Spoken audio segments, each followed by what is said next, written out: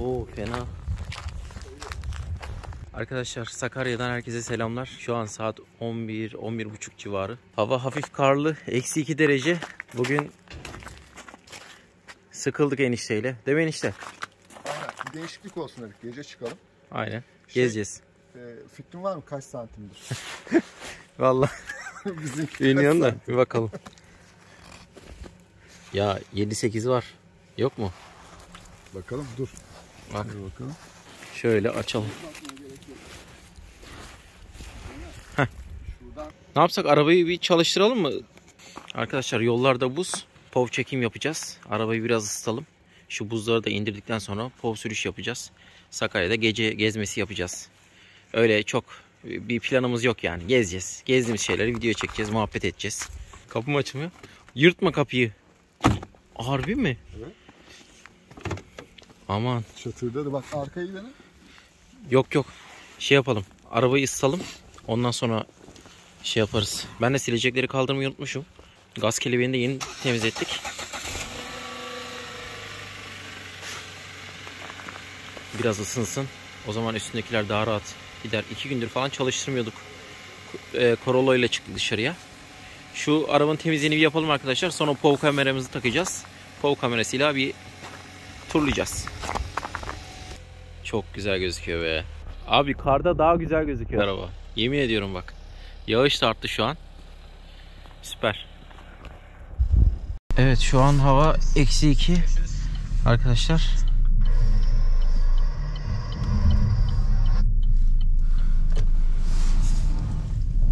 Gacır gucur ediyor. Donan yerler var arabada tabii ki.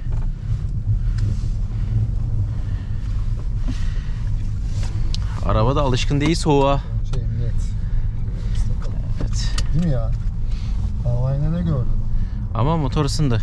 Bekledik bir 10 dakika. Araba var. Evet. Bak rahat duruyor ya. Durmaz diyordun. Şu, şu tarafı şey. Kavşaklarda araba çıkıyor. Ha. İki araba da kar lastiksiz olup frene bassa da duramayabiliyor yani. İkisi de geliyor ha. İkisi de geliyor. Çarpışan oto misali. Evet şu an. Ama bak biraz şey durması fena değil. Kalın ya lastik. Değil mi? Ya tabii sen sürüyorsun sen daha bilirsin. Bir bastım hemen SP'yi açtı. Soldan gireceğiz. Sola mı? Yani sola.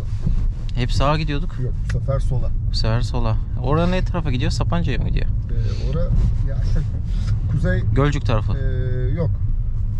Kuzey Marmara Otoyolu'na bağlanıyor burası. Allah kaç. Yeni yapılan yola. Hmm. Kaç kere geldim çözemedim. İstanbul'a da bağlanır. Evet. Aa, girişi. bu yol temiz. Ankara'ya da bağlanır. Bu yol temiz. Aa, bu yol mis gibi olmuş. Basayım mı frene? İyi sanki ya sıkıntı yok. E, az Yol kayıyor. açık Çünkü. Az kayıyor. Tuzlamışlar ya. Evet.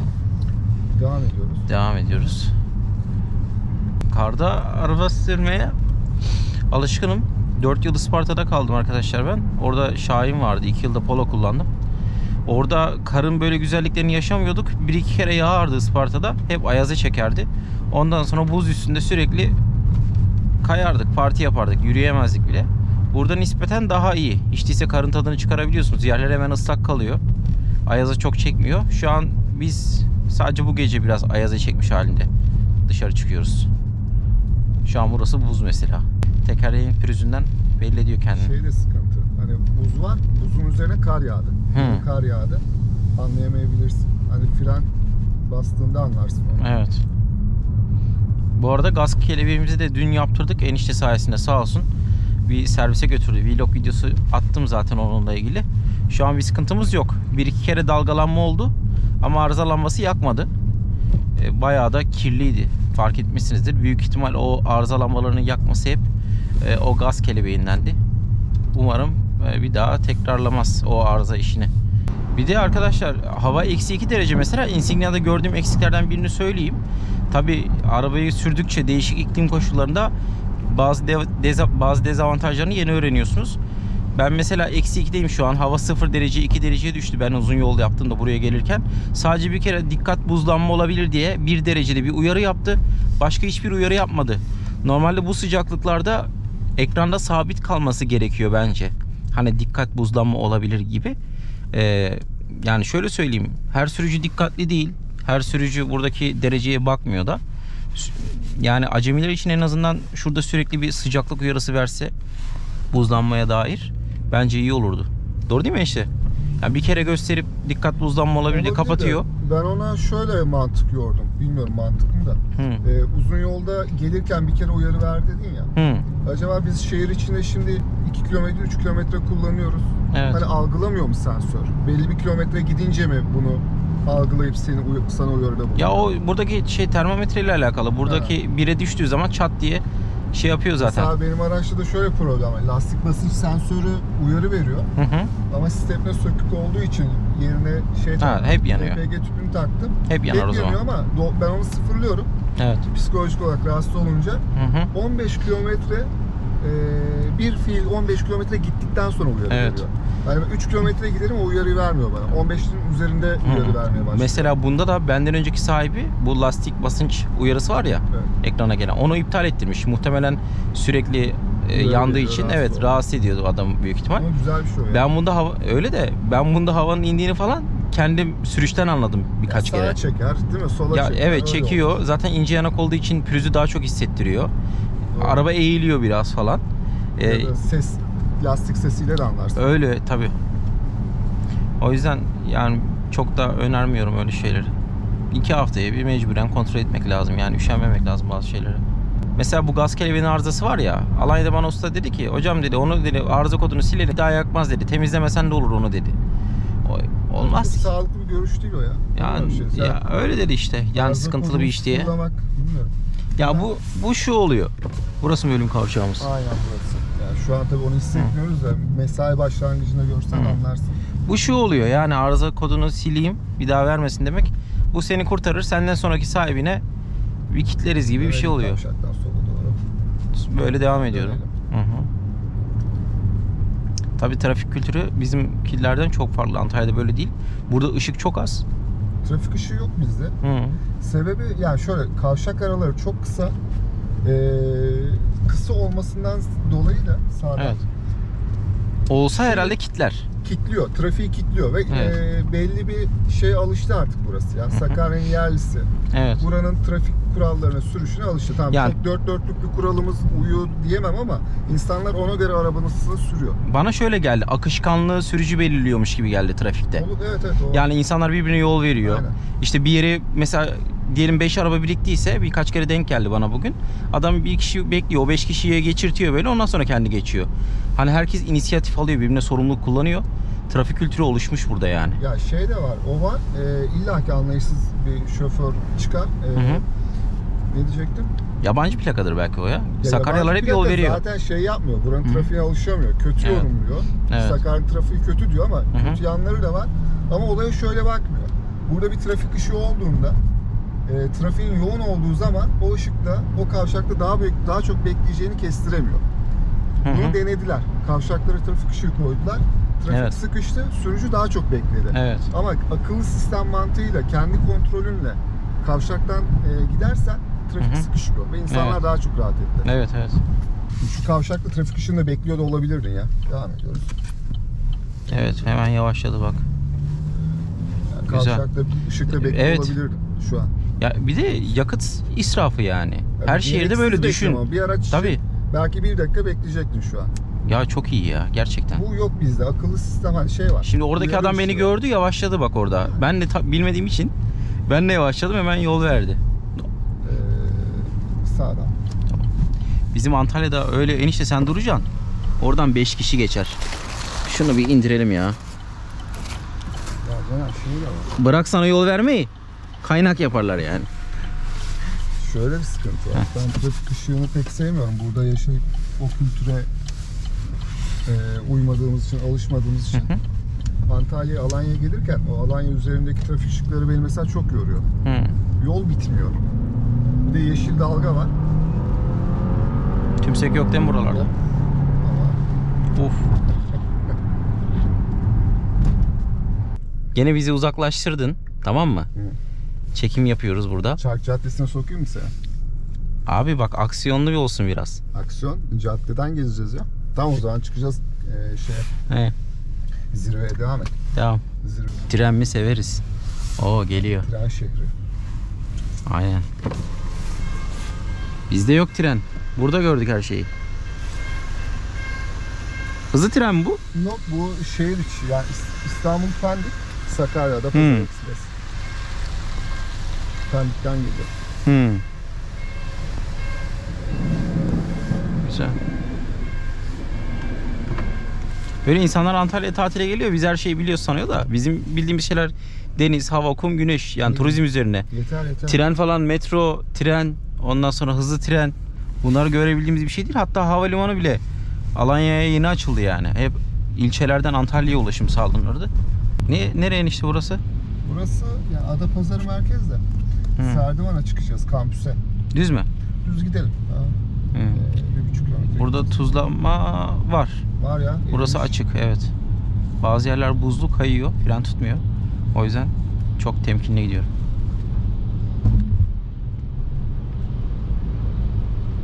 Zaten şey atmalarından belli oluyor. Tekerlerin su atmış. Ha, aynen aynen. Bak burada hafif var. Gördün mü? Evet şu an aldı. Ha, hop kaydı. Hem sulu hem kayıyor ya. Hava soğuk çünkü. Ya Normal. bu da bir tecrübe. Bunu insanlar hani şoför olan tamam bazı coğrafi sıkıntılar var. İşte Antalya'da kar yağmıyor. Evet. İzmir'de kar yağmıyor. Bunu yaşayamıyorsunuz eğer seyahat etmiyorsan ama bu şekilde araba kullanıp o tecrübeyi edinmek güzel bir şey. Öyle O tabii ya. almak. Çünkü e, yol hali çok farklı. Yağmurlu havada su birikintisindeki e, müdahale, karlı havada nasıl frene basacağın, Özellikle tek, tek tekeri suda bırakıyorsan çok tehlikeli. mi? Çekiyor seni. Tabii uzun yolda bırakıyor. falan o sulara çok dikkatli girmek gerekiyor. Ya da yazın ince bir yağmur attığındaki Hı hı. asfaltın lastik izi, e, arabaların bıraktığı yağ Evet. izi kalıyor ya. Arabanın fren tutması da zorlaşıyor. Araba Evet. kayıyor. Bunlar hep tecrübe. Burada da enişte mesela yolda don olduğu zaman kar lastiğinin de önemi kalmıyor. O yol buz tutmuşsa seni kurtaracak tek şey artık varsa zincirin o an. O olabilir. Çünkü yere e, basınç uygulayacak tek şey o. Lastikler kaygan olacak. Kar lastiği de olsa kaygan olacak. doğru doğru. Sadece e, bu yeni karda galiba kar lastiğinin tutulması biraz yüksek oluyor. Buzda bir farkı yok diye biliyorum ben. Yani O yüzden fren mesafesini her koşulda doğru ayarlamak lazım. Yani yüksek sürate çıkmamak gerekiyor. bak geliyor Durabilmek araç. için. Ha bak geliyor. Durarak. Aynen öyle. Ma yalnız Sakarya bu konuda iyi bak. Nasıl? Kaçıncı gördük bu araçtan? Araç için. Her yeri Ya tuzluyorlar. ya. Güzel süper. Kavşaktan sola dönüp yukarı çıkacağız. Şu an kayıyoruz yalnız. Ha, fren de tutmadı. ABS girdi devreye. Bak bak. Şahin işte. Şahin mi var? Tempro. Çılgın tempracı gidiyor. Abisi. Hı. Bir de arkadan çekişli araçlar çok avantajlı burada. Yani bu tip havalarda. Milletin çıkamadığı yerleri tofaşlar tıkır tıkır çıkıyordu. Bugün şey nasıldı? Skoda favorit. Evet. Keçi gibi tırmanacağız. Aynen aynen. Sağdan yokuş çıkacağız. Oo çıkıyoruz mu o yokuşu bugün? Yani çıkacağız ama burayı tuzlarlar. Bir de yokuş olduğu için tuzlayıp su akıyor. Çıkmama ihtimali yok yani. Kar Al. orada. O zaman hızımı alayım. Hatta hızını da alabilirsin. Alayım alayım. Bu yokuş sıkıntı. Ama eritmişler burayı. Evet, Burayı. Buraya bakıyorlar. Burası kampüs yolu. aynen öyle. Burada çok mağduriyet oldu yıllar önce. Belli bir kitle var oturuyor. Hatta Bu- daha da yoğunlaştı. Evet burada kaydı mı duramazsın zaten aşağı kadar gelirsin. Hatta hızlanarak gelirsin yani. Değil mi? Yani büyük sıkıntı. Ama bak Hmm. o kadar yol geçtik. En güzel, en temiz yol burası şu an. Evet. Hem yokuş olması tuzlayıp suyu ak, e, kara akıttı, suyu aktı. Evet. İlgilenmişler de belli. ilgilenmişler, kürümüşler aynı zamanda. Ya tutunmada şu an hiçbir sıkıntı yok. Güzel.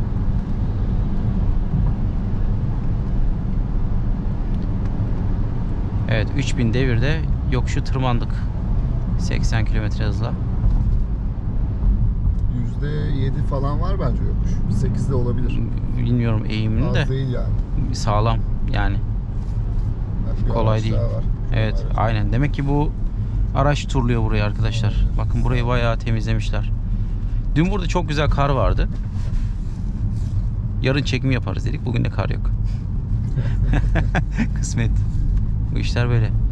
Güzel ama ya buranın yollarını gerçekten böyle yani gezdirtiyor kendini. Açık, ışık az. Araba da çok az. Saat şu an 12. Yollar böyle. Kardan dolayı değil biraz hayat pahalılığından da olabilir. Değil mi? O kesin ya. Kimse arabayı çalıştırmıyor artık. Bir de kışın daha çok yakar. Araba ısınacağım diye. Onun da etkisi var. Bu yol temiz değil mi? Şu an basıyoruz. yok. Aynen ıslak. Problem yok zaten. Sonra yalpalaya yalpalaya inmeyelim. Çok çok rahat iner. Bak motor freni dedin al. Ya Hop. bu önemli. Otomatik arabada tamam. Bu, bu önemli bence. Otomatik arabada şey sıkıntı karda gitmek. Bak bir. Tamam, Şu an güzel. manuelde. İstediğin buydu değil mi? Evet evet. Hı. Çünkü e, kaygan zeminde motor frensiz arabayı durduramazsın. Evet, evet. bir esprisi yok. Aksine daha çok sıkıntı olur. Yok zaten bu şekilde 2'ye 3'e aldığın zaman da gaza basmadığın sürece yakmıyor. Kompresörle hareket ettiği için yakıtta şöyle bakalım bak mesela şu an anlık yakıt tüketimi sıfır. O devir artıyor ama o çevirme RPM dönüyor yani. Yakıt çekmediği için o da arkadaşlar bazen korkuyor. Yokuş aşağı boşa alıyor arabayı. Ama boşa almaya gerek yok. Hafif gaza basayım mesela. Boşta vardır ya Vitesini daha az. fazla yakar diye. Soldan. Soldan mı? Evet. Boşta Aa buz zaman- bura. Sol taraf buz. Solu açmamışlar. Bak hakikaten onu görmesem giriyorduk şöyle. Bak orası dolu. İşte ona dikkat. Oha. Çok güzel be. Siyah mı o? Siyah. Şey. O önemli arkadaşlar. Böyle yokuş aşağı falan arabanızı bu otomatik vitesli arabalarınızı boşa almayın. Boşta inmeyin. Hem balatayı bitirirsiniz. Hem araba zaten yakmıyor. Hem de fren mesafeniz kısalır. Daha güvenli iniş yaparsınız. Bu şekilde yüksek devirde inebilirsiniz. Ondan korkmayın yani.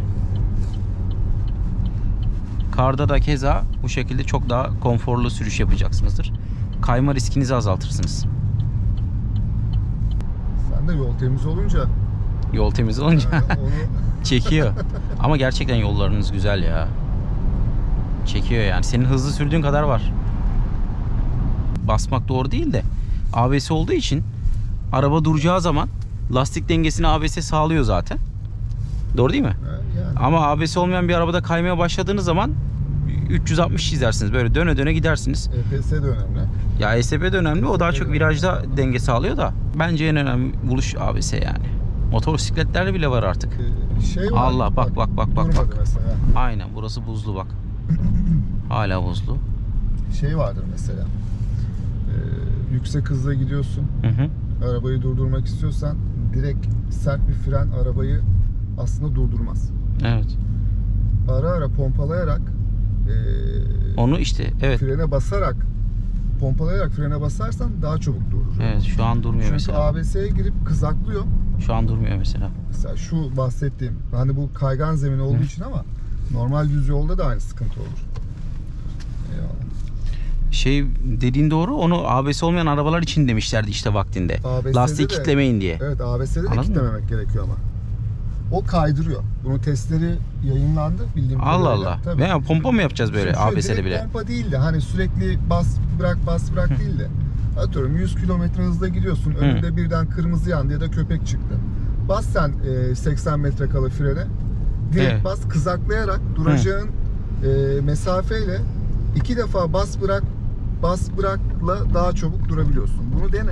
Allah Allah. E, ya da bunu ben dedikten sonra bir bakalım yanlış mı biliyorum. Hı hı. Sistem şu. E, tekerleği kilitliyor Evet.